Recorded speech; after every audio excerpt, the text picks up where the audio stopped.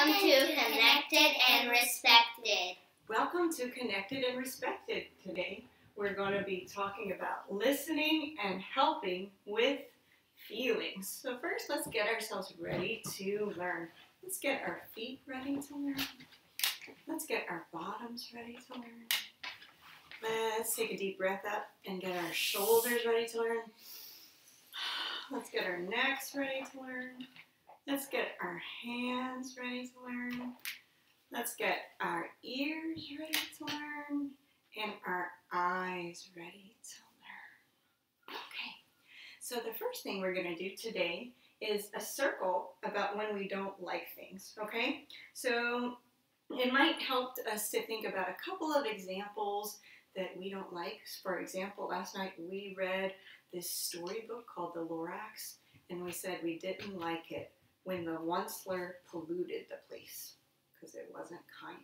So that was something we didn't like. And when the Once-ler said mean words. And when he said mean words. So those are some things that people might not like, right? Or we said, ooh, it is really cold outside today, and we didn't, like one of us said it was really cold and we didn't like it, right? So those are the kind of things that people might not like, you know? And um, you know, another thing might be like when somebody you're trying to tell a story and someone interrupts, right?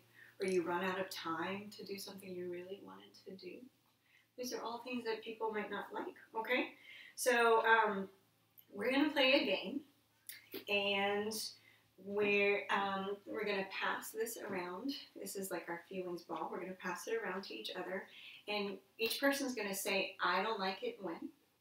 And the other person, when it's their turn, has to say, oh, that person doesn't like it when, and I don't like it when, and say a new situation.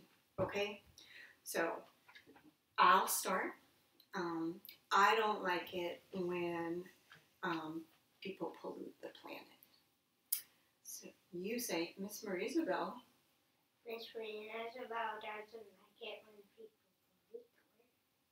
and then you can say, I don't like it when. I don't like it when people say me words.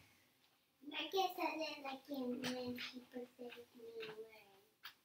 I don't like it when um people tease me. Olivia doesn't like it when people tease her. I don't like it when people don't listen. My friends about doesn't like it when people don't listen. I don't like it when people um throw away too much garbage. I don't like it when people. Marcus doesn't like it when people throw away too much garbage. I don't like it when people put other recycling and garbage and garbage and recycling. Olivia doesn't like it when people mix the recycling with the garbage with the recycling. I don't like it when I don't like it when people um, people don't share. Okay, how about we stop it right there? Okay. Um, So I'm just going to go over what we're going to do today. We already accomplished one thing. We did their I don't like it when circle, okay? And um, we're also going to talk about, let's, let's read out loud what we're going to learn about today. Um, we're going to be working on what is probably the most important skill a person can have the ability to really, really listen and understand others. We've been talking about feelings how important they are, and how they are communicated. In our gathering, we practiced a very important listening skill. We're going to do another game that will allow us to play this skill called Pete and Repeat.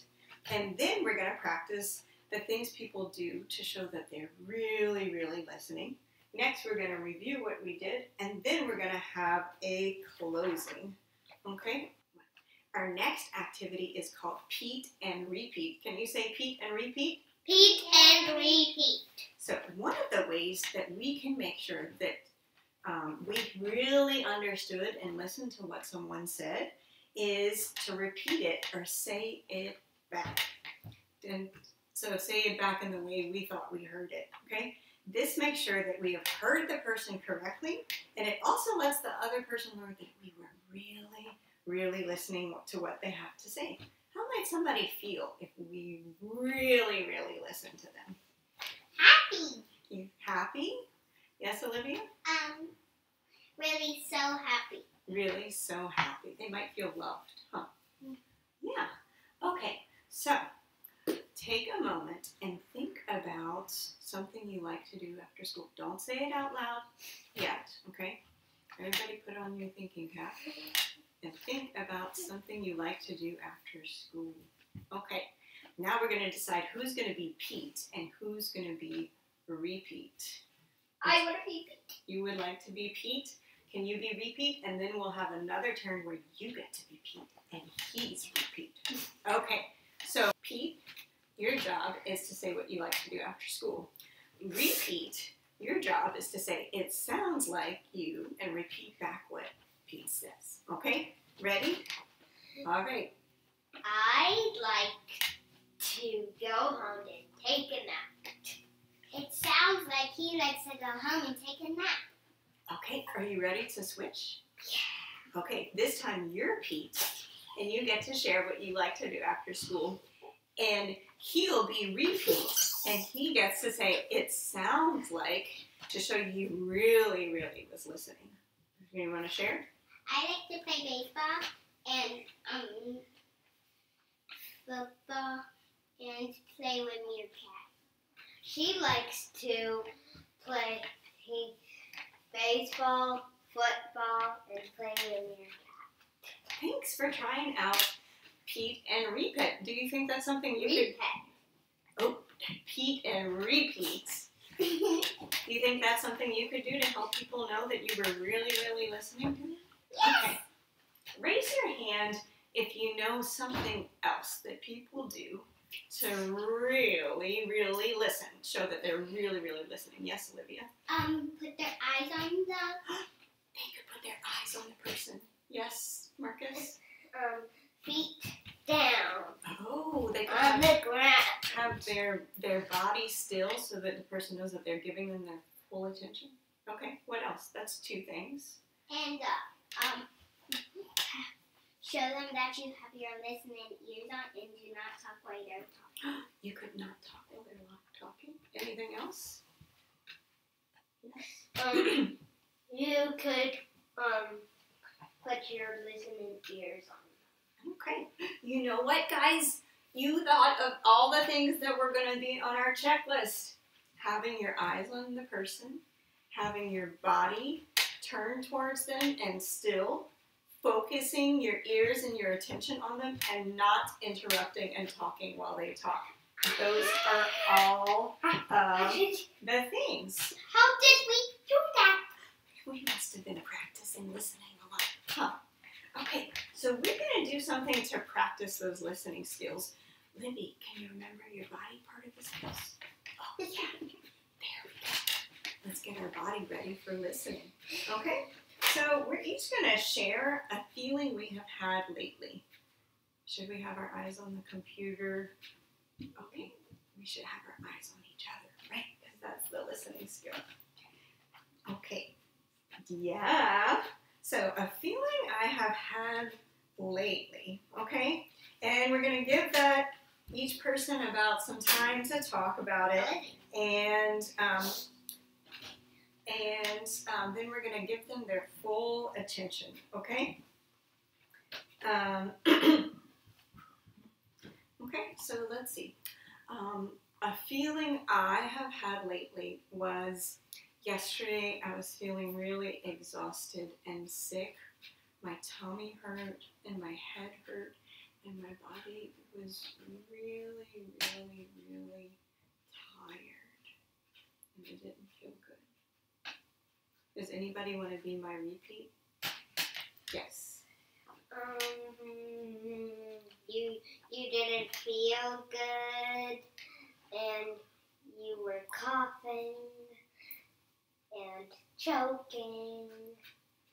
Uh, I ran out of words. All right, well, let's see. Some of the words were right on target, Marcus, and some of the words were different, but it showed me that you understood that I didn't feel so good yesterday. Let's see, how did we do well? Were your eyes, was everybody's eyes on me? Yes. Was everybody's body still? Yeah. Really? Yeah. Was everybody focusing on the speaker? Yes. Did anybody interrupt? No. There was no interruptions. Okay, let's have Livy be the speaker this time, and let's show eyes, body, focus, and no interrupting to her. Can you tell us about a feeling you've had lately?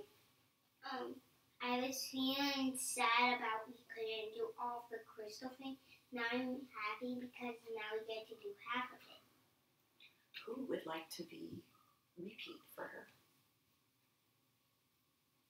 I'll do it. Okay. It sounds like you were feeling really bummed out and sad because you had been all excited about making the crystal art project, and then you found out that we wouldn't have time to do all of it. But then you started thinking about it and feeling okay about it because we were going to do part one time and then part later. Did I get it right? Yes. Okay, Marcus, how do you think we did? Did we have eyes on the speaker? Did we have a body that was focused and listening and attentive? Yeah. I think so. I think so. Um, but maybe that's the part we work on, huh?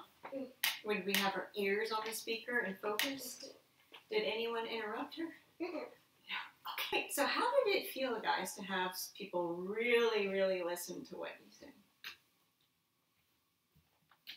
You gave it a thumbs up, two thumbs up. How did it feel for you? Yeah? Because he did then um because he didn't stay still. Oh, okay, so that can be something we can work on, huh? Is there anything you want to work on to be a better listener too? To um stay still. Stay still. I Because she think was that totally. um, I will work on really concentrating and focusing and not thinking about my to-do list when people are talking. When someone's really, really listens to you, how does it feel? When you really, really listen, bless you. When you are a really good listener for your friends or your family or people you know or people you don't know, how does that feel for you? Yeah. Okay. So being able to be a good listener is a skill we can all learn.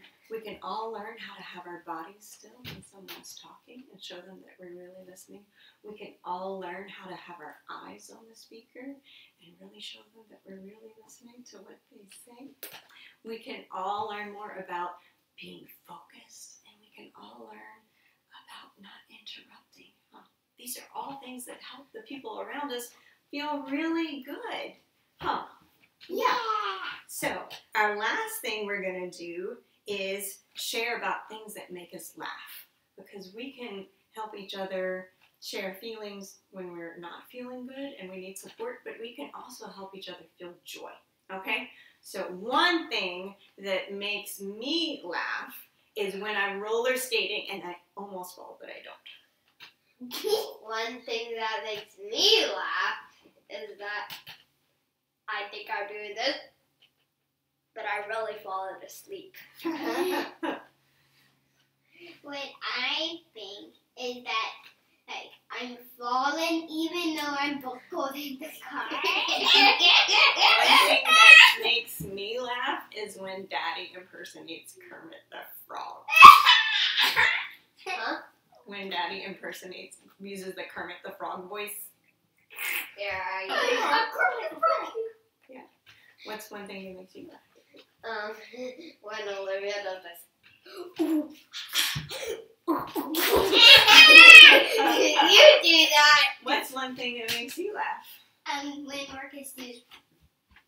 I did not do that. So thanks guys for sharing out all these fun, joyous, laughing things and really listening to each other. It just shows how we can feel when we really share with each other and listen to each other and are with each other in the moment. Huh. Can you say, stay in your seats and say thanks for joining us? Thanks, thanks for, for, joining, joining us. us. Bye bye. Bye bye.